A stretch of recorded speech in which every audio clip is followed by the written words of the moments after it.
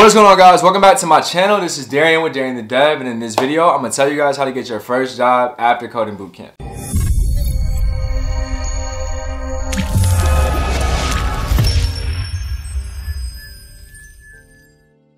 If you guys are new to the channel and you're into tech, entrepreneurship, coding, startups, anything like that, make sure you guys like, share, and subscribe. It really helps me just stay motivated to keep making these videos for you guys. And in this one, I just wanted to respond to a lot of people who've been sending me messages and are basically worried about getting a job when they finish coding bootcamp, which is totally natural. Like I have been there. so I wanted to share with you guys some tips that I learned from my coding bootcamp, from my career counselors on the job search um, that I think really helped me stay focused, understand what my goals were, and also to track my measurables and really see how well the job search was going. These tips are gonna help you guys do all those things. All right, you ready?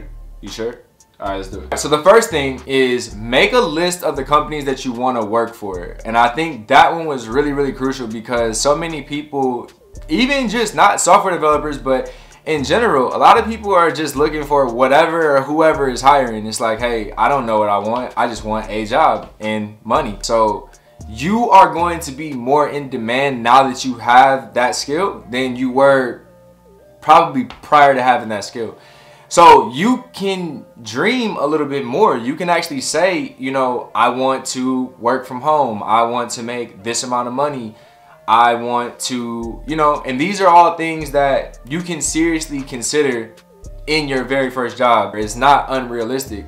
So I say that to say that you really have to have your goals in mind. Like, is work-life balance important to you? Is working from home important to you? Is learning and growth important to you? Or is just simply working in tech important to you, no matter what type of position it is? So when you think about those goals and what you want in your job and not just who's willing to hire you, I think your options start to look much better because now you're like, okay, well, I don't want to work for them. Like they're hiring, but I don't want to work for them. It just doesn't sound like my right type of place, my right type of fit. It's not the type of culture that I want. So if you're not looking for a really big company, you can easily start to eliminate certain places that are hiring. So you can narrow down your job search and say, you know, these are the 10 companies that I really ideally would like to work for. I'm going to put all my energy and effort into making my application for these companies the best that I can. So the second thing is once you have that list of the companies that you want to work for, make sure that you do research on those companies as well to really be sure that they are, or at least presenting themselves to be a really good fit for what you're looking for. So that means going on the website, it means reading the about section, that means reading the team and find out who the executives are, and maybe even reading some like outside articles about the company and just getting perspectives from like reviews and you know competition market competition and just kind of see where they are in their industry and if it's a type of place based on what other people are saying who work there and the reviews like does everything add up? So yeah, so basically just make sure that, you know, you use all your resources or as many resources as you can to make sure you get the most clear picture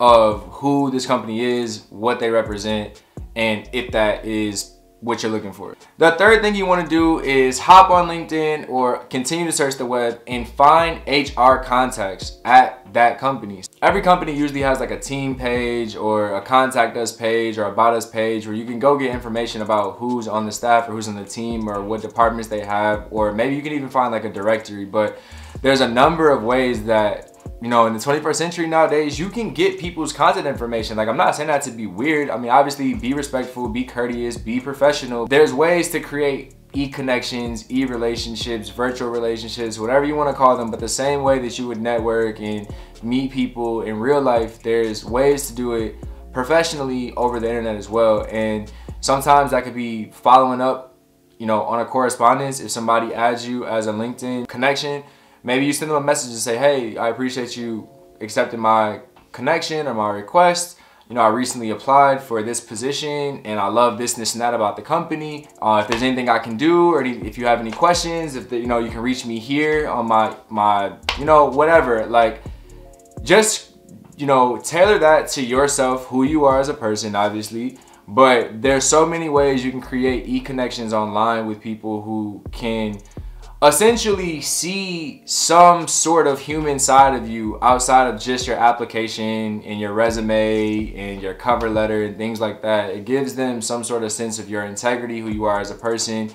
They're filtering through hundreds and thousands of applications every day. So, you know, just something as simple as sending someone an email, a thank you note, a LinkedIn connection with a follow up those simple, simple things can go a long way in terms of making you stand out, making people remember you, and also giving them a piece of who you are as a human being, your integrity, your character. So, you know, finding or building some sort of e-connections or just, you know, relationships, connections with people who actually work at that company that you want to work at that's on your list, I think is another way to just exponentially increase the odds of you following up and being able to get hired. The fourth thing we're not gonna spend a lot of time on it. It's apply. That's pretty obvious. The fifth thing is again follow up with a personal message to those people that you had as contacts. So you know if you can get a, a few people you know that might be in HR just in case some people don't reach back out to you or whatever. You don't want to seem spammy obviously, but just give yourselves the best odds of getting to the right person. So if you're not sure if a few people are the right person in HR maybe you reach out with to the first person and just say, hey, just wanted to, you know, I just applied uh, for this position and I just wanted to reach out to someone in HR and just introduce myself and say how excited I am to be considered to work at this company. Um, you know, just wanted to see am I speaking to the right person in HR to discuss blase and blase or to, you know, whatever, however you take it from there. But you know, give yourself a few options. There's always a way to find people that work at these companies. And again, a human connection goes a really, really long way.